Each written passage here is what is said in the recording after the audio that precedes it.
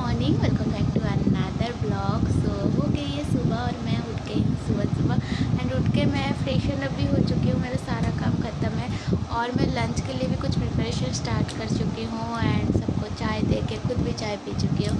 सब कुछ मेरा काम ऑलमोस्ट आज ख़त्म है एंड अभी बजा है एट फिफ्टीन अभी तो मैं ये ड्रेस में हूँ फ़िलहाल क्योंकि मैं अभी लंच प्रिपेयर करूँगी। फिर जाके आज का जो मेरा ड्रेस है, नवरात्रि का फोर डेज़ का जो भी मैंने रखा है नया वाला ड्रेस वो पहनूँगी और क्या फिर पूरा दिन में जो होगा आप लोग के साथ शेयर करूँगी। एक्चुअली कल रात को ना मेरा ये वाला जो आँख है ना, बहुत मतलब ऑल सडन कुछ होने लगा एंड चुभने लगा एंड सुबह उठ के देख रही हूँ कि इसका हालत थोड़ा सा ख़राब है। तो मुझे भी लग गई है सर्दी, पता नहीं क्यों ये नहीं जा रहा है। मतलब वन मंथ हो गया, आ रहा है, जा रहा है, जा रहा है, आ रहा है, ऐसा ही हो रहा है। देखते हैं आगे क्या क्या होता है मेरे साथ। तो चलिए आज का दिन स्टार्ट करते हैं। ये सारा काम ख़त्म करके अभी बैठ गई हूँ, चाय लेके अभी ऑलमोस्ट दस बज गए हैं और मैं चाय पी रही हूँ, सासू मोम और साथ में हस्बैंड जी भी चाय पी रहे हैं। तो ये अभी हमारा चाय का टाइम है, फिर चाय पीने के बाद मैं जाऊँगी रेडी होने के लिए।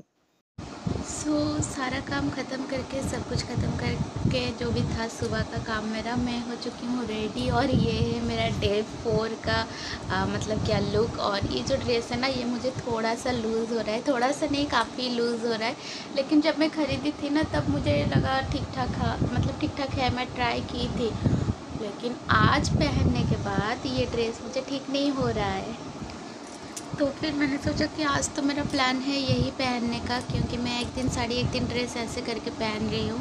तो मैंने सोचा कि ठीक है, घर पर ही तो हूँ, पहन लेती हूँ, बोल के सोच के पहन लिया। लूज़ है, चलेगा घर पर लूज़ ड्रेस अच्छा है।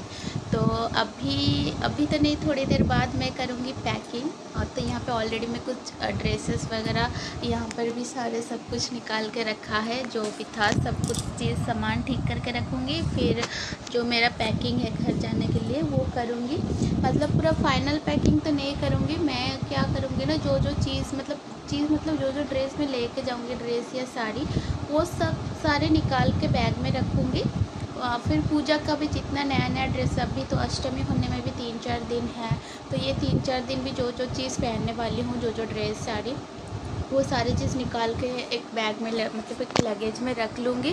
फिर जब सप्तमी के दिन आई थिंक मैंने सोचा है कि सप्त क्योंकि अष्टमी में टाइम नहीं होगा बिल्कुल भी तो सप्तमी के दिन फाइनल पैकिंग करूँगी क्योंकि अगर सब निकाल के रखूँगी तो मेरे लिए ईजी होगा क्या लेके जाऊँगी क्या नहीं। और जो पहन लूँगी वो सब तो घर पे ही रह जाएगा तो ऐसे करके इजी भी हो जाएगा। एंड फाइनल जो पैकिंग रहेगा वो सप्तमी को करूँगी लेकिन आज जितना भी नया ड्रेस वगैरह है सब कुछ मैं आ, क्या लगेज में रख लूँगी। फिर फिर क्या फिर पूरा दिन क्या करते हैं देखते हैं। आज भी रात को हम जाएँगे घूमने मंदिर जाएँगे फिर से। तो अभी हमारा प्लान है नवरात्रि के एंड तक ही देखने जाएँगे हर रोज़।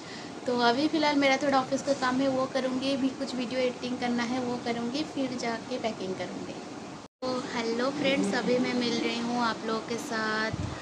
अभी बस चुका है रात के नौ और अभी मैं मेरा डिनर प्रिपरेशन कर रही हूँ। साथ में मैं रात के नौ बजे ग्रीन टी पी रही हूँ।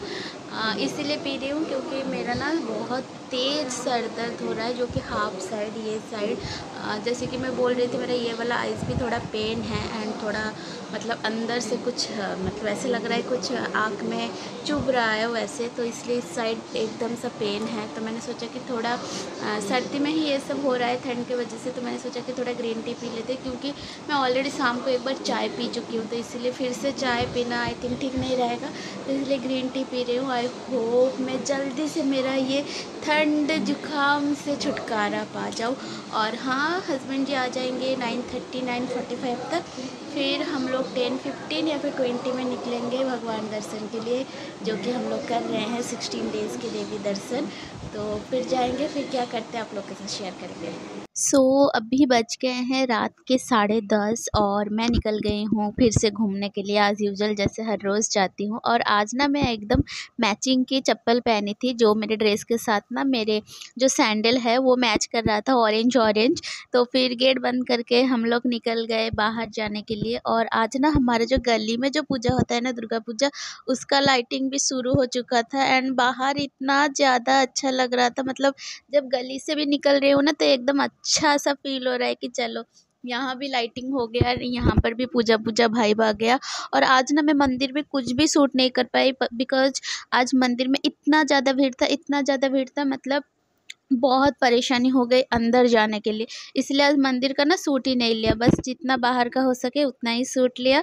तो आज के लिए ब्लॉग इतना ही। आई होप आप लोगों को आज का ब्लॉग अच्छा लगा होगा। मिलेंगे ना एक और ब्लॉग के साथ अच्छे अच्छे ब्लॉग के साथ।